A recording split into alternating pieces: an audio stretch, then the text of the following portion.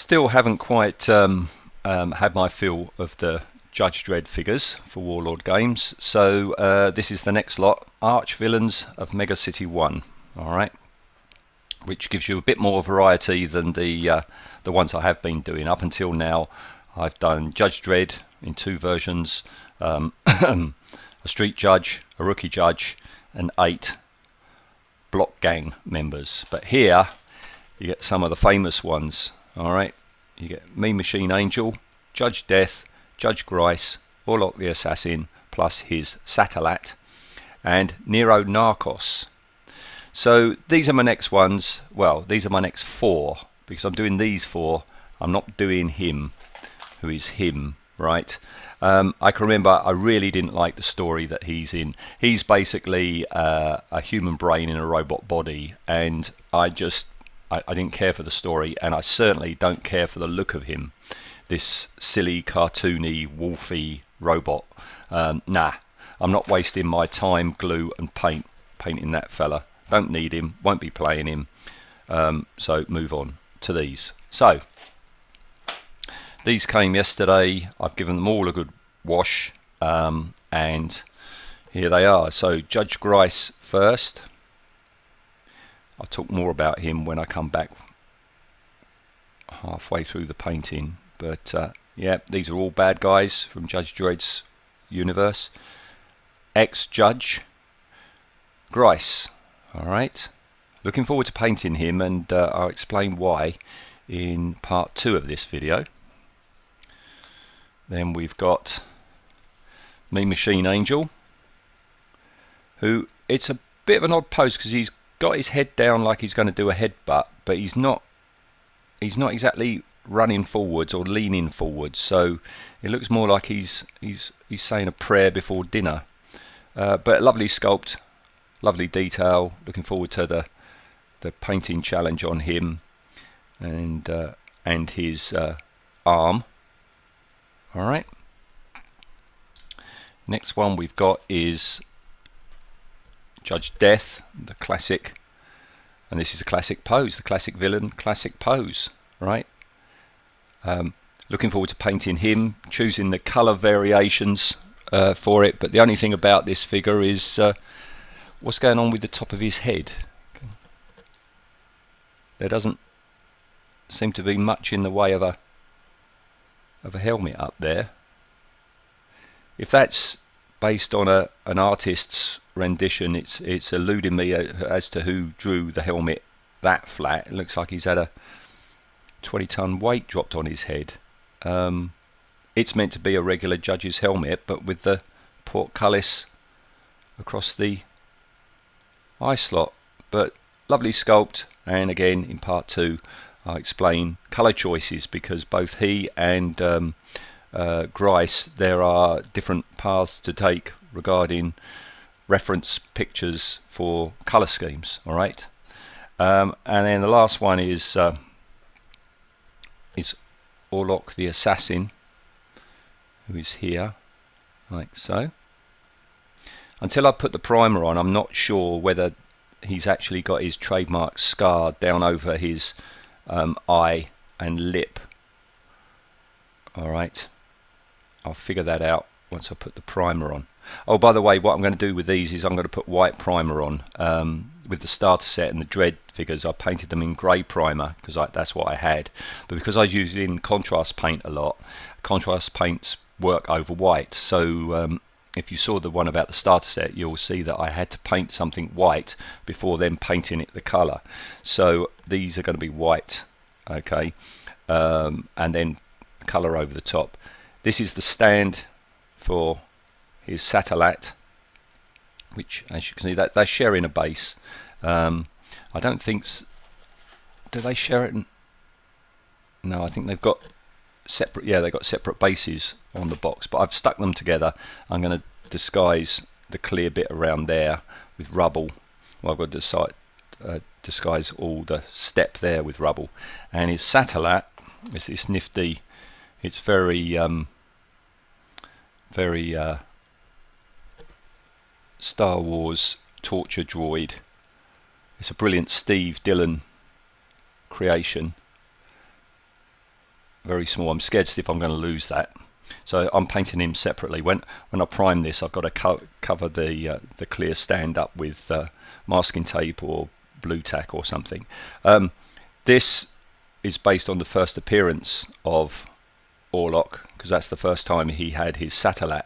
Um, as I say, drawn by Steve Dillon, but um, a black and white strip, so I can go in any way I want with um, with colours. But I'm thinking red.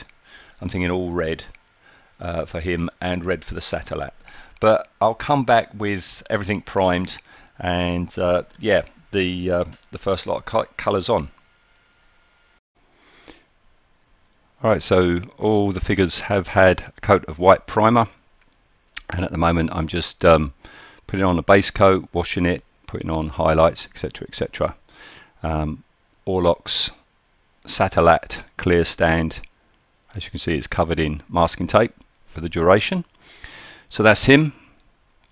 Um, mean Machine, um, again, doing his skin tones. Just got to lighten them up. They're a bit dark in the recesses right now.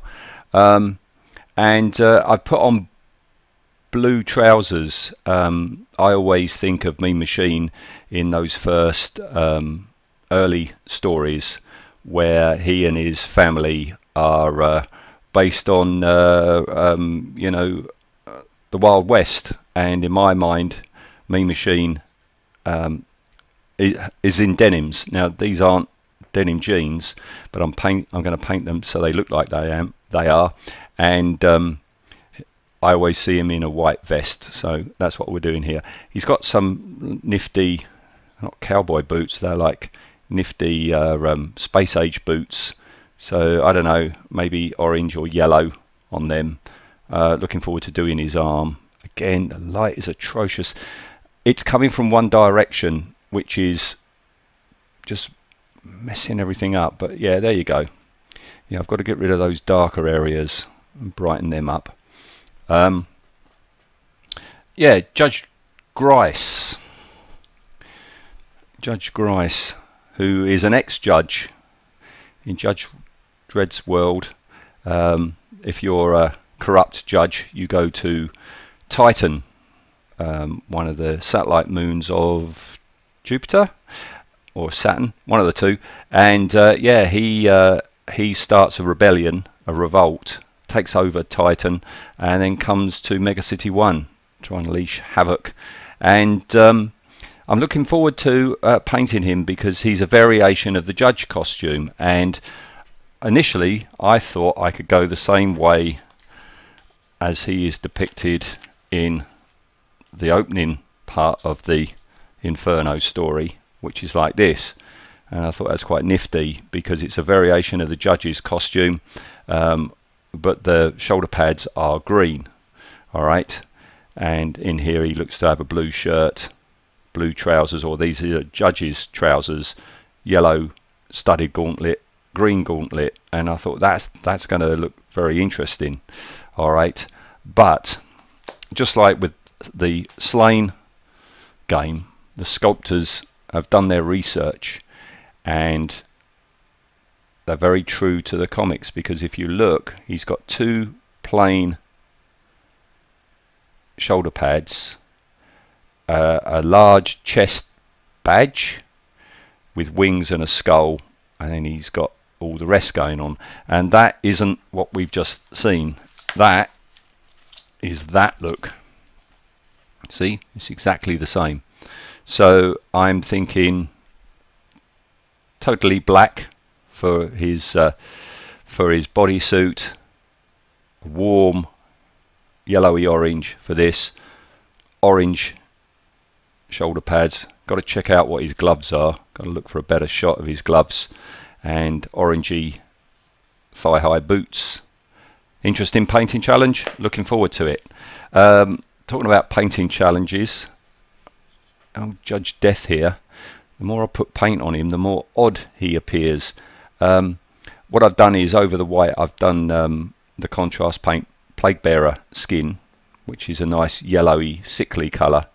Um, and then what I've done, especially you know down amongst the toes, between the toes and in places, put on uh, uh, Reikland flesh tone to just warm things up and then I've put on Beltane tan green alright thin down to give me a green tint to everything. Alright um, and it, it's working fine but this helmet that I said before is is really bugging me.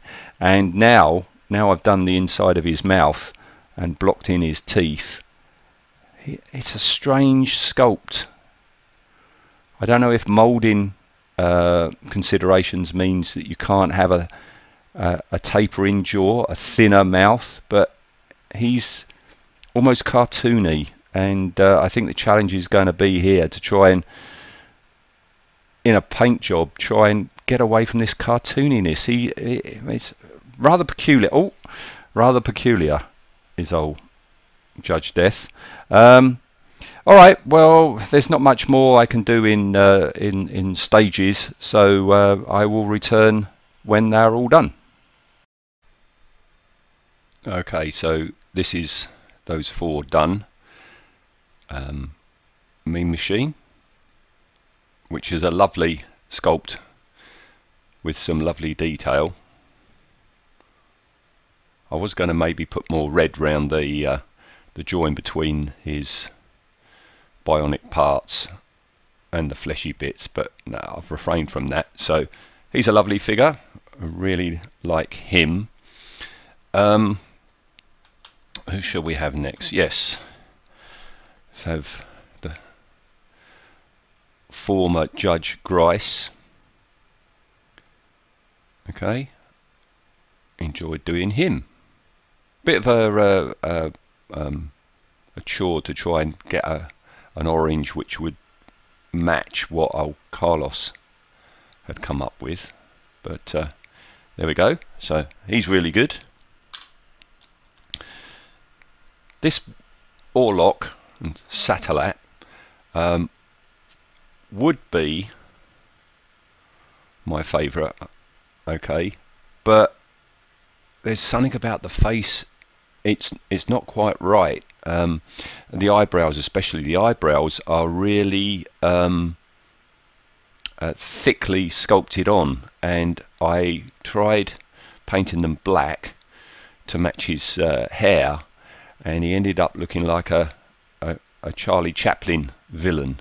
Um, so I've had to do them in a in a darker brown, so they just uh, don't don't stand out so much. But uh, enjoyed doing him and his little satellite. All right.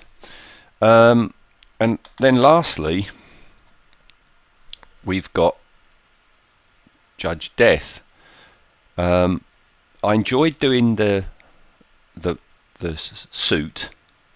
Um, as you can see, I've done him as a judge because I uh, my favourite version of Judge Death is the original Brian Bolland version, and uh, he hasn't got the decaying um, uniform that uh, later depi depictions have him in. Um, so I enjoyed doing that, but it's a very odd figure. This I thought this was going to be my favourite, but it's actually my least favourite. Very odd sculpt, um, very odd face. Well, mouth. It's very cartoony, and there's nothing that I could do to take away from that in the painting. So that's one thing. Another thing, why is his badge all the way down on his hip? I know in this pose, you know, his uh, left shoulder pad would get in the way somewhat, but um, the old uh, Halcyon kit was exactly the same pose, and they managed to do it all right. His badge shouldn't be all the way down there like that. And it's, yeah, this oddity of his helmet, all right, is odd it's like half of it's missing. Um, yeah, and that's odd. And then the, the final thing about this figure, which is very strange, is you know you look as I say, Brian Bolland's uh, version, you know, is the definitive one for me. That fantastic artwork he did, um, and he clearly based um, Judge Death on Max Schreck playing Nosferatu in the 1922 film. Um, so this is based on that, but look at the size. Judge Death's not a giant. This this figure is out of scale um, to the rest of the figures. He's not that big. I've got a feeling that this the sculpting is odd. The size is different. I've got a feeling this figure has come in from somewhere else, you know, um, or it's the uh, uh, uh, an, an original take on these figures when they were a little bit bigger. But yeah, the the sculpting's odd and the scale is odd. So I thought this was going to be my favourite figure, but it's not. But uh, there you go. That's those four done. Um, I'm going to take a break now from from collecting these. I'm a bit dreaded out now. Um, I'm carrying on with the um, uh, uh, building vehicles and terrain for it, but I'll come back at a later date. Um, I think I'm going to do some flyers or something like that, some vehicles, some of their um, jet bikes or something like that. So uh, yeah, stay tuned.